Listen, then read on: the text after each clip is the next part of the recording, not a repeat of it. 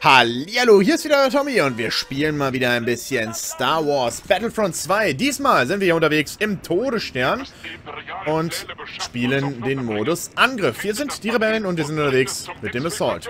Mal gucken, wie es läuft. Ähm, viele Leute wollen ja immer kleine Modi sehen. Ich bin nicht so großer Fan von den kleinen Modi. Aber naja, manchmal kann man es ja mal machen. Und heute haben wir mal wieder ein ja doch eventuell sehr passendes Thema, denn es geht so ein bisschen um die Weihnachtszeit. Ich habe das schon in diesem ähm, Jahreszeiten, in meinen Lieblingsjahreszeiten Thema so ein bisschen angeteased, von wegen, ey, yo, ich habe vor eigentlich äh, so ein bisschen das zum Thema zu machen. Oh, da sitzt einer im Fahrstuhl? Den habe ich überhaupt nicht gesehen. Was ist eine Nummer von ihm?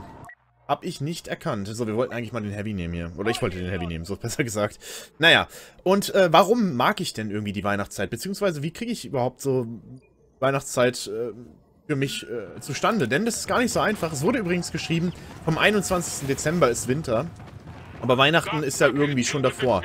Irgendwie so mit, äh, wann beginnt denn das für mich? Und das ist schwierig zu sagen. Denn eigentlich müsste man meinen, ja, das beginnt ja irgendwie so, wenn dann auch, äh, weiß ich nicht, Sachen im, im, im Laden drin sind, die mit Weihnachten zu tun haben. Das fängt ja jetzt mittlerweile immer früher an. Das ist ja jetzt schon irgendwann auch schon im... Komm, den kriege ich noch, den kriege ich noch! Granate und... Ja, bam. Da holt mich nicht mal der Kerl, cool. Ich hätte jetzt gedacht, ich gehe drauf.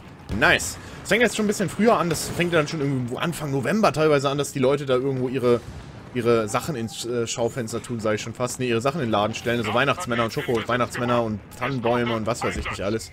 Also so Mini-Tannenbäume, natürlich jetzt nicht die echten. Naja, jedenfalls äh, hängt es damit natürlich irgendwo zusammen, sodass man dann so als, als Mensch realisiert, so, ey, ha, es ist Weihnachten oder es wird bald Weihnachten. Es sind schon überall die Sachen draußen. Irgendwie zumindest bei mir. Aber wirklich in Stimmung bin ich dann meistens nicht. Das sich jetzt ein bisschen komisch an, dieser Satz, aber naja. Wirklich in Weihnachtsstimmung bin ich dann auf jeden Fall nicht. Aber die Frage ist ja auch, wie komme ich denn dann in Stimmung? Jetzt versuchen wir mal was hier. das Schild rettet mich. So, Kollege, komm nur her, du. Schnapp ich mir doch. Da war noch einer bei ihm. Wir gehen gerade im Moment nur auf Kills. Wir sollten natürlich auch aufs Objective so ein bisschen gucken. Aber wir haben schon ordentlich Kills gemacht. Das ist schon nicht schlecht. Schnapp ich mir und dem helfe ich mal hier. Falls hier irgendwer ihm nachläuft. Denn das ist ja eigentlich deren Auftrag. Ist mein Teammate draufgegangen? Ich glaube. Oh, ich habe ihn nicht mal geholt. Schade. Naja, gut. Passt. Wir haben ganz viele Punkte gemacht. Und wie komme ich denn überhaupt in Weihnachtsstimmung? Eigentlich irgendwie größtenteils tatsächlich durch Musik. Das ist ganz komisch. Bin totaler Fan von so Weihnachtsliedern. Jetzt nicht diese O Tannenbaum, O Tannenbaum, sondern tatsächlich diese doch christlich angehauchten. Ich mag irgendwie, das ist eine ganz komische Sache, ich weiß nicht, ob es irgendwie anders auch so geht, aber ich mag irgendwie diese Kirchenlieder. Ich habe keine Ahnung warum. Frag mich bitte nicht. Ich weiß es nicht. Kann man hier raus? Nee. Frag mich bitte nicht warum, aber irgendwie ist es so, dass ich die echt gerne mag. Und äh, ich höre mir die dann teilweise wirklich auch in der Freizeit an und ja, ich singe die auch mit. nicht so, dass ich das nicht machen würde. Ah, jetzt kriegen wir hier aber alle weg, weggehauen. Sehr gut, und jetzt gehen wir das Ding auch ab. Perfekt. Und äh, damit fängt es irgendwie an, dass ich mir dann selber irgendwann diese Weihnachtsmusik anmache. Das hat nicht unbedingt was mit Weihnachten zu tun für mich. Ich da kann ich jetzt auch mal cool kurz eine Geschichte erzählen von früher, als ich kleiner war oder beziehungsweise als ich bei meinen Eltern noch gewohnt habe, war das auch so, dass ich diese Weihnachtslieder dann tatsächlich auch irgendwo zu Hause gesungen habe. Und äh, dann halt irgendwo auch im Sommer, nach Wind. Also das ist bei mir auch häufig, dass ich diese Weihnachtslieder gerade nach Weihnachten noch singe. So im Januar oder so warum ich hinsumme oder irgendwie äh, mir anhöre und sowas. Ich mag die einfach. Ich weiß auch nicht warum. Also jetzt, falls sich irgendwelche Leute fragen, was denn überhaupt, das wäre jetzt sowas wie Stille Nacht oder ist es ein Ros entsprungen oder sowas in der Richtung. Ähm, aber das ist äh, echt interessant, dass das damit bei mir zusammenhängt, dass ich sowas ganz gerne mache. Keine Ahnung, ob es da jetzt jemanden, wie gesagt, auch so geht wie mir. Hier ist gar keiner, da sind welche. Ich werde jetzt hier einen hochjagen. Kavums, weg mit dir. Flieg schön. Das ist ja eine komische Position zum Abwarten, die der eingenommen hatte. Aber gut, wir haben das Teil. Wollen wir gleich mal weitergehen hier. Was natürlich auch viel damit zusammenhängt, ist sowas wie Schnee oder allgemein optische Gegenstände. Ich habe ja schon gesagt, so ein bisschen hier Adventsschmuck, Adventskranz, bla bla bla, Tannenbaum in der Wohnung, irgendwelcher anderer Schmuck. Oh, das wird so nichts werden. Das hat alles was damit zu tun, wie sehr ich da irgendwo in diese Weihnachtsstimmung gelange. Und häufig, wie gesagt, ist es bei mir eigentlich so, dass ich gar nicht unbedingt in Weihnachtsstimmung bin vor Weihnachten, sondern irgendwie erst danach. Es ist ganz, ganz merkwürdig. Ich weiß auch nicht warum. Juhu! Ich glaube, das wird es gewesen sein. Deswegen höre ich jetzt gerade mal auf mit dem Thema. Ich stelle mich einfach auf den U-Wing. Weiß jetzt nicht, ob Todesstern so leicht zu gewinnen ist. Zumindest scheint es mir so. Naja, das war jetzt erstmal dieses ganze Thema zum Sachen Stimmung kriegen. Jetzt kommt natürlich gleich noch die Zeit an sich, warum ich denn Weihnachten so unfassbar gerne mag. Das werden wir gleich erfahren, aber das erst, wenn ich diese Runde beendet habe und die nächste anfange. Also bis gleich. So, weiter geht's. Wir spielen noch einmal eine Runde Angriff. Diesmal hier wieder auf Takodana. Ich finde es leider echt schade, dass diese Map so häufig bei mir kommt irgendwie. Weil die wäre schon in der Beta vorhanden und naja will man dann vielleicht lieber eine andere Map spielen. Ist ja auch egal. So, es ging eben noch um die Weihnachtsstimmung und irgendwie, zumindest wollte ich abschließend nochmal sagen, es macht irgendwann bei mir einfach Klick und dann merke ich so, oh, jetzt äh, ist irgendwie, äh, ist es Weihnachten, ey. Meistens bei mir halt leider echt zu spät. Und dann bin ich schon so in Stimmung. Manchmal kriege ich das so ein bisschen, ja, ich will jetzt nicht sagen künstlich hergestellt, aber ich kriege das halt manchmal, wie gesagt, vorher hin, wenn ich mir so Musik anhöre oder sowas in der Richtung. Oder selbst da so ein bisschen am Mitsummen bin, aber das ist, wie gesagt, eigentlich auch irgendwo das ganze Jahr lang. Na, du dreckiger Camperboy. Weg mit dir. Schöner in seiner Ecke am Sitzen, feige Hund. Na, Granate. Der bewegt sich eh nicht, also komischer Kerl, naja gut. Und, ähm, wie gesagt, da macht es manchmal bei mir auch erst Klick, nachdem... Oh mein Gott, nachdem dieses ganze Weihnachtskram so gesehen gelaufen ist. Und, äh, dann bin ich halt irgendwo in Stimmung und äh, dann habe ich auch diese Weihnachtsstimmung und bin total äh, sehe im Seelen ruhig oder so. Wie soll man das denn sagen? Naja, jedenfalls geht es allgemein erstmal so die Zeit an sich. Wie ist denn das? Wieso mag ich Weihnachten so gerne? Und das ist jetzt das, was ich erläutern möchte. Warum mag ich Weihnachten? Und das passiert wahrscheinlich jetzt hier mit Erwachsenen. Das kommt mir gerade so ein bisschen wie so eine Erleuchtung. Dass es viel damit zu tun hat, dass ich dann zu Hause bin. Natürlich ist es sau vielmäßig auch wieder, das referenziere ich jetzt einfach mal das andere Video, äh, ganz viel mit Nostalgie zu tun. Oh, oh ganz viel mit Nostalgie zu tun. Alter, von welchen Seiten ich hier beschossen werde. Dass ich dann irgendwie so schöne Erinnerungen habe an Winter, dass es da geschneit hat, dass ich mit meinem Hund draußen war, damals, als er noch am Leben war. Dass ich mit meinen Eltern und meinen äh, Großeltern vielleicht spazieren war im Wald und dann hat es geschneit und dann sieht man einen Hasen da durch die Gegend laufen oder was weiß ich. Jedenfalls irgendwie solche coolen Erinnerungen, solche schönen Erinnerungen, die man gerne sich äh, wieder zurückruft. Das natürlich auch irgendwo, dass man so Flashbacks hat, sage ich jetzt mal.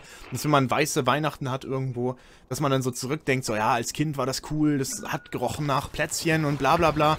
Aber das ist nicht mal alles dass ich da so schöne nostalgische Gefühle dran habe irgendwo, sondern äh, eigentlich auch viel so mit der Zeit, mit der Familie. Und jetzt äh, kommt was, was vielleicht die ein oder anderen jüngeren Zuschauer ein bisschen verwirren wird oder ein bisschen komisch vorkommt. Denn wenn man irgendwie äh, zu Hause wohnt und während man noch zu Hause wohnt, gerade so in der Pubertät, ist irgendwann die Phase erreicht, wo man sich so denkt, boah, ich hab gar keinen Bock mehr auf zu Hause, will irgendwie hier weg, man will alleine wohnen, bla bla bla bla bla. Ist ja auch alles verständlich, das geht jedem so, denke ich mal. Zumindest ging es mir auch so wenn man dann erstmal ausgezogen ist, dann vermisst man irgendwann auch diese Zeit zurück, dass man sich dann echt irgendwie denkt, so, ah, irgendwie war das früher doch schon alles angenehm, so, hatte nicht viele Probleme, Mama, Papa haben alles geregelt, irgendwo so alles Grobe, was, was wirklich wichtig war. Man hat irgendwie immer Essen gehabt, was richtig lecker war, man hat dies gehabt, man hat das gehabt, man hat irgendwie jemanden gehabt, mit dem man über alles reden kann und sowas. Natürlich kann ich jetzt theoretisch auch über alles reden mit meinen Eltern, das ist jetzt nicht so, dass ich die nicht anrufen könnte oder so. Ah, das war der falsche Sprung, hä? Will da irgendwie hoch, aber irgendwie Ah, irgendwie klappt's nicht. Weg mit dir da oben. Ich zähle weitere Feinde. Hinter mir irgendwo. Das ist jetzt verwirrend für mich. Ich werde draufgehen. Ich bin mir ziemlich sicher, dass ich draufgehen werde. Nee. Nicht? Alright. Cool. Bewegen sich auch keinen Millimeter, die Gegner. Oder der da zumindest. Oder manche von den Gegnern, sagen wir es so. Naja, jedenfalls, ähm, ist es dann auch so, dass man irgendwann diese Zeit zu schätzen weiß und dann auch anfängt, diese ganze Zeit sich zurückzuwünschen und auch so ein bisschen dieses äh, Gespräch mit den Eltern auch sucht und gerne Zeit mit denen verbringt, dann ist man mal wieder komplett vereint. Nicht nur die Eltern sind dann wieder in der Heimat, sondern wenn man, wie ich jetzt zum Beispiel, äh, relativ weit weggezogen ist. Das kann jetzt auch sein, dass es an mir liegt, weil ich relativ weit weggezogen bin von meinen Eltern. Dass es damit zusammenhängt. Aber jedenfalls, wenn man nicht äh, wenn, man nicht viel Zeit mit seinen Eltern mehr so verbringen kann, dann freut man sich irgendwann, ja, ich krieg's sogar abgeliefert, nice, Mann. Freut man sich irgendwann, dass man das dann auch wieder kann. Man freut sich, dass die Familie wieder da ist, also wirklich dann mein Bruder, die Schwägerin, bla bla bla. Man sieht einfach alle, das ist so ein richtig schönes Familienreunion. Und natürlich auch sowas wie, dass die Freunde einfach wieder da sind. Die ganzen Freunde von mir, die jetzt überall verstreut in ganz Deutschland irgendwo arbeiten, studieren, dies und das, irgendwas machen, äh, kommen alle nach, äh, jetzt hätte ich fast den Ort gesagt, meine Güte, kommen, kommen dann wieder zurück äh, in meine Heimat und dann trifft man die alle wieder. Das ist halt das Schöne eigentlich daran. Da habe ich natürlich jetzt Glück, dass ich noch Student bin und die Zeit zwischen Weihnachten und Silvester so gesehen frei habe. Äh, natürlich äh, lerne ich da ganz, ganz, ganz viel. und äh, das ist natürlich auch das Schöne, dass dann die da sind, also größtenteils oder manche von denen, dass man die dann wieder sieht, was mit denen machen kann. Also es ist einfach wunderbar, einfach, dass man wirklich alle Leute, die man irgendwo gerne hat und sowas, einfach wieder trifft, weil es wird einfach schwierig mit der Zeit, sich äh, mit denen zu treffen. Also genießt auf jeden Fall die Zeit, wo ihr jetzt so äh, noch jünger seid, auch gerade die, die so kurz vorm Abschluss, vor Berufsausbildung oder sonst irgendwas sind, die jetzt doch gerade hier mit ja, Berufsausbildung ist Quatsch, aber die jetzt kurz vorm Abschluss sind und die noch nicht so wirklich wissen, hey, vielleicht ziehe ich jetzt äh, nächstes Jahr irgendwo da und da hin oder ich mache da und da ein Studium oder ich mache da und da eine Ausbildung und die und meine Freunde ziehen vielleicht auch weg oder sowas. Genießt es noch, äh, während die Freunde noch alle da sind und sowas. Nutzt es aus und äh, macht da viel mit euren Friends und so. Irgendwann wird es so sein, dass ihr relativ wenig mit denen noch machen könnt, weil halt einfach die Leute wegziehen, Familie selber gründen oder sowas in der Richtung auch.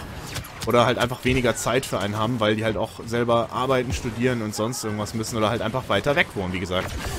Das macht natürlich viel, viel aus. Deswegen mag ich Weihnachten schon unfassbar gerne. Aber das hat natürlich nicht viel mit Weihnachten an sich zu tun.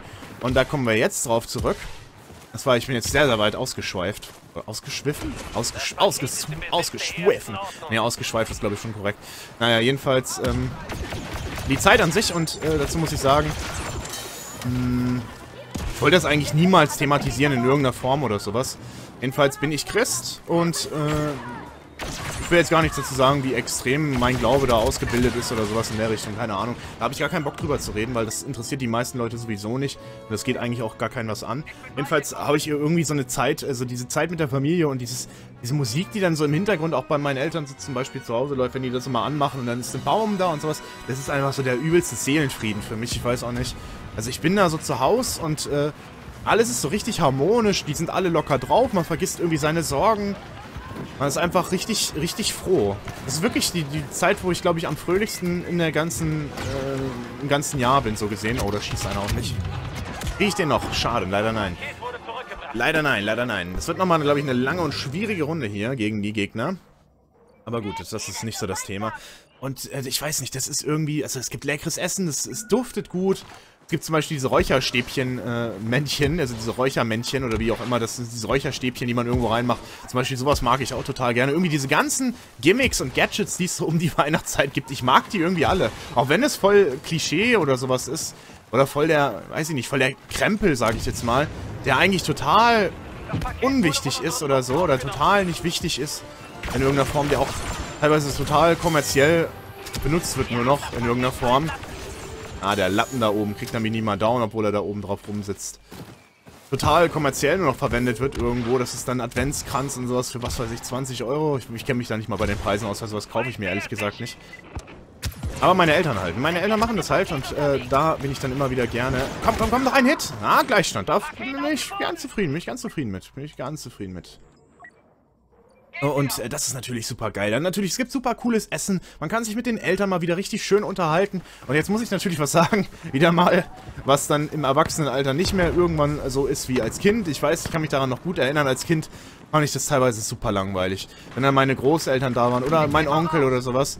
Und dann kommen diese Erwachsenengespräche zustande. Ich fand das so sterbend langweilig. Dann sitzt man da so am Essenstisch und da werden mir jetzt wahrscheinlich auch die meisten von euch zustimmen. Sitzt man da so und langweilt sich ohne Ende, während die Erwachsenen da über ihre langweiligsten Langweiler-Themen reden. Aber irgendwann, irgendwann denkt man sich so, ja gut, ey, da kannst du jetzt mittlerweile auch mitreden. Äh, und äh, dann ist das auch gar nicht so schlimm und macht einem sogar einigermaßen viel Spaß. Hört sich jetzt spießerhaft an vielleicht, aber ist halt irgendwie so. Irgendwann äh, merkt man das halt so.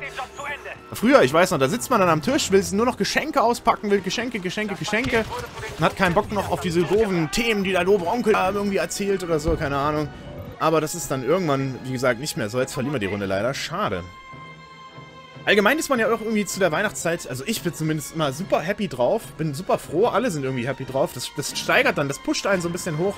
Dass wenn du so siehst, ah, hier, Schwägerin, Bruder, Mama, Papa sind alle fröhlich, sind alle glücklich, dann ist man selbst auch ein bisschen glücklich. Man ist auch überhaupt nicht so in Eile wie sonst im Leben. Das finde ich sowieso schade. Das würde ich auch gerne nochmal thematisieren irgendwann als Part. Dass die Welt ja sowas von in Eile geraten ist. Hört sich jetzt auch voll wie so ein alter Opa an, ey. Aber irgendwie, man nimmt sich voll gar keine Zeit mehr für irgendwas. Das ist wirklich alles so richtig... Oh, wir haben das Ding da vorne. Ich habe irgendwie gedacht, ich muss immer noch hier hin. irgendwie ist alles so äh, schnell, schnell, schnell und man hat gar keine Zeit mehr für gar nichts und so. Man nimmt sich gar keine Zeit mehr. Ja, das war jetzt dumm von mir, da zu pieken. Naja, gut. Haben immer noch 2000 Punkte. Können wir beim nächsten Mal wieder einen Sprungtrooper nehmen. Und das ist halt auch nicht so. Irgendwie bei Weihnachten nimmt sich jeder die Zeit. Da sagt jetzt keiner, boah, das muss jetzt aber schnell gehen, denn wir haben Zeitdruck, Zeitdruck, Zeitdruck oder sowas.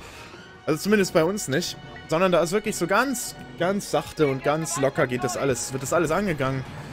Man nimmt sich die Zeit. Da ist keiner so, der Hektik macht oder sowas. Man hat die Zeit irgendwie. Und äh, ist da irgendwie einfach, ist einfach irgendwie zufrieden mit seinem Leben. Und ist halt, also in meinem Fall bin ich halt auch immer dankbar für mein Leben und äh, versuche das dann auch immer so ein bisschen, ich weiß nicht, irgendwie, ich bin der Seelen, ich, ich habe kein anderes Wort als seelenruhig, irgendwie Seelenfrieden. Weiß nicht, ich bin da mit mir im Einklang, sagt man das so? Ich denke schon. Das wird es jetzt gewesen sein mit der Runde. Den schnappen wir uns aber noch, obwohl es schon abgelaufen ist. Da würde ich mich ärgern für ihn. Allgemein ist man ja auch irgendwie so ein bisschen gönnerhaft. Ich meine, das ist ja nicht äh, verwunderlich, dass man äh, jetzt so an Weihnachten Sachen verschenkt. Wie gesagt, ich will jetzt gar nicht zu diesem kommerziellen ganzen Zeug kommen. Als Kind freut man sich da immer drüber, als Erwachsener ist einem das relativ egal dass man dann irgendwie äh, Geschenke kriegt, da ist das dann sowieso nicht irgendwie wirklich äh, was Tolles. Also es ist jetzt nicht so, dass ich dann jetzt sage, boah, Mama, ich will unbedingt die coole neue Playstation oder sowas. Da denkt die sich sowieso so, hä, was, was laberst du mich voll? Kauf dir halt eine, wenn du unbedingt eine haben willst. Ähm, da ist es dann eher äh, so, so eine Sache des Rituals oder sowas, dass man sich dann noch was schenkt. Shit, ich kam nicht mehr raus. Da kommt das gar nicht mehr aufs Geschenke an und sowas. Das ist als Kind, wie gesagt, ganz schön. Das war bei mir genau, genauso. Da hat man ja auch nicht viel Chancen irgendwie, sich andersweitig größere Sachen abzuholen. Also sowas wie eine Playstation ging ja eigentlich fast nur an Weihnachten oder so ein Teil von der Playstation oder Geld für eine Playstation. Ging ja eigentlich fast nur an Weihnachten oder Geburtstag oder sowas. Aber ansonsten hatte man da jetzt nicht wirklich die Möglichkeiten, ähm, dass man sowas Großes einfach so äh, bekommt. Ist doch gerade einer runtergedroppt, ne? Ja. Und äh, allgemein ist man da irgendwie in Gönnerlaune, finde ich. So an Weihnachten. Oder um die Weihnachtszeit. Nein! Ich hab mir noch... Ich, ich hasse... Ich hasse so... Ach. Mist! Ich wusste nicht, dass da eine Treppe hochgeht. Ich habe sogar noch in die rechte Ecke einfach geprefired, weil ich mir gedacht habe, so links ist er nicht. Ich prefire jetzt ziehe rechts nach rechts rüber, prefire einfach hin. Also schieße auf gut Glück und treffe die dann vielleicht. Und dann war sie da nicht und dann dachte ich, da kann man nicht in die Ecke rein oder so. Und dann ist sie da. Ah, diese dreckigen Camper, Leute. Ich hasse sowas. Feige. Ah, es ärgert mich, dass ich da gestorben bin. Ärgert mich brutal. Na gut. Hat halt der Schlauere gewonnen in dem Moment. Ich hätte vielleicht nicht followen sollen. Oh, wie ich darüber fliege. Naja, gut. Also irgendwie, für mich ist es, wie gesagt, äh, behutsame Zeit. Es ist wunder... Ah, die sitzt hier immer noch und ich sterbe gegen die. Ich fasse es nicht. Also das ist jetzt wirklich nur noch traurig, Mighty Mike. Das ist an der exakt... Ist es die exakt gleiche Stelle? Nein, ich weiß nicht. Zumindest... Na, Mighty Mike. Nicht so viel campen. Nicht so schön. Aber das ist auf jeden Fall so eine richtig schöne Zeit für mich irgendwie. Es ist, also besonders wenn es jetzt schneien würde oder sowas, ich finde es so schön irgendwie wirklich. Man kommt nach Hause, aus dem Schnee. Es ist alles warm, es duftet schön. Der Baum ist geschmückt, irgendwelche komischen anderen Schmucksachen stehen irgendwo rum. Man ist einfach, einfach zufrieden. Es ist einfach wirklich die Zufriedenheit, die man währenddessen verspürt. Ich finde es wunderbar. Ihr könnt natürlich auch sagen, wie euer Weihnachten so abläuft und äh, wie allgemein die Weihnachtszeit eher ist. Weihnachten an sich werde ich wahrscheinlich auch nochmal ein Thema machen. Da werde ich allerdings nicht äh, zu Hause sein. Also jetzt hier so gesehen das für euch an dem Tag aufnehmen oder sowas in der Richtung. Sondern natürlich dann im Vorhinein, weil an Weihnachten, beziehungsweise von Weihnachten bis Silvester, bis irgendwann danach, werde ich nicht da sein hier in Lübeck und äh, aufnehmen können. Sondern da werde ich halt zu Hause sein und das freut mich irgendwo auch. Kann man auch nochmal kurz thematisieren. Hört sich vielleicht ein bisschen doof an für euch jetzt, aber irgendwie ist das ganz schön mal äh, nicht... Also wenn einem was ernst ist, ich fange mal anders an. Wenn einem was ernst ist, und das ist bei, bei, mir bei YouTube relativ ernst, das merkt man vielleicht auch, dass ich das halt wirklich regelmäßig durchziehe und sowas. Ich finde das nämlich doof, wenn man mehrere Tage pausiert oder sowas und das dann unregelmäßig bringt, dann ist das für mich immer so halbherzig hingehauen. Und bei mir ist es wirklich, ich bin da auch stolz drauf, sage ich so wie es ist, dass ich äh, dieses YouTube-Zeug hier wirklich seit äh, Tag 1 jetzt so gesehen wirklich täglich dann was hochlade, dass ich hier täglich irgendwas hinkriege und ähm, auch das alles geplant und sowas ein bisschen durch, durchknüppel und äh, hier immer was mit Spaß und so weiter hinbekomme, dass euch das natürlich auch so gut gefällt. Natürlich auch wunderschön. Und, ähm, dann ist das irgendwie jetzt, weil ich natürlich dann relativ viel vorher aufnehme, weil ich äh, natürlich weiß, dass ich weggehe, werde ich natürlich viel aufnehmen und über die Zeit Videos für euch haben. Aber das ist dann irgendwo für mich äh, so eine Zeit, wo ich dann wirklich mal abschalten kann auch, weil wenn einem was gefällt und einem was wichtig ist, macht man sich natürlich automatisch drüber Sorgen. Ist jetzt nicht so, dass ich hier jeden Nacht wach liege und mir über YouTube Gedanken mache oder sowas, weil dafür ist es einfach nicht... Äh, dafür muss ich mir das immer wieder zu sehr im Kopf rufen, dass es eigentlich ja nicht äh, mein mein Beruf ist oder sowas in der Richtung, sondern es ist ja immer noch Freizeit.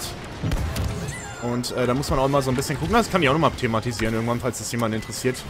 Dass ich mich da eher so ein bisschen zurückhalten muss. Und jetzt muss ich schaffen. Jetzt muss ich schaffen. Aber ah, da schießen so viele auf mich. Na, ich konnte es nicht. Ich konnte nicht mehr springen. Ich hätte vorher nicht zweimal springen sollen. Aber leider waren da auch so viele neben mir. Hm, hätte mir leider irgendwann noch Deckung geben müssen. Ich glaube, da stand auch nur einer neben mir. Der hat es leider nicht geschafft, alles aufzuhalten. Aber haben wir ganz gut versucht. Klappt leider nicht. Werden wir leider verlieren. Aber naja, jedenfalls äh, kann ich dann während dieser Zeit endlich mal... Das hört sich halt echt brutal an. Das ist nicht so ernst gemeint, wie ihr das jetzt vielleicht auffassen könntet. Endlich mal abzuschalten und dann wirklich diese eineinhalb Wochen oder sowas komplett frei von Sorgen oder irgendwelchen nachdenklichen Sachen zu leben und einfach, einfach gar nichts machen muss. Das ist tatsächlich interessant, dass ich das jetzt so sage und das ist einfach die Wahrheit, auch wenn es jetzt vielleicht für manche blöd klingt oder schwer linkt oder sowas in der Richtung, aber es ist äh, interessant. Ich finde es ja immer wieder interessant, wie das Leben so spielt. Jetzt werde ich es nochmal versuchen. Der Wookie wird mich holen, da kann ich nichts machen. Ach, Wookies sind aber auch einfach zu stark. Ich finde es echt schade, dass die Wookies immer noch sowas von stark sind. Ich wäre sowieso gestorben, auch gegen jede andere Elite-Klasse. Das hat jetzt absolut nichts mit dem Wookie zu tun, ich weiß. Aber ich mich nervt trotzdem. Jedes Mal, wenn ich durch den Wookie sterbe, denke ich mir, scheiße, der ist overpowered. Auch wenn es, wie gesagt, jetzt eben gerade gar nicht am Wookie lag. Da hätte mich jede andere Elite-Klasse auch geholt. Naja, das war es auf jeden Fall mit dem Thema zu diesem ganzen Weihnachtskram. Meine Weihnachtszeit, ich bin auf jeden Fall immer richtig, richtig fröhlich zur Weihnachtszeit. Hab ja auch schon erläutert, warum. Wie sieht's denn mit euch aus? Wodurch kommt ihr denn irgendwie so richtig in Weihnachtsstimmung? Passiert euch das denn auch vor Weihnachten? Oder ist es eher wie bei mir, dass das irgendwie so random im Sommer auch mal passieren kann? Oder eigentlich fast viel eher einfach nach der Weihnachtszeit irgendwie?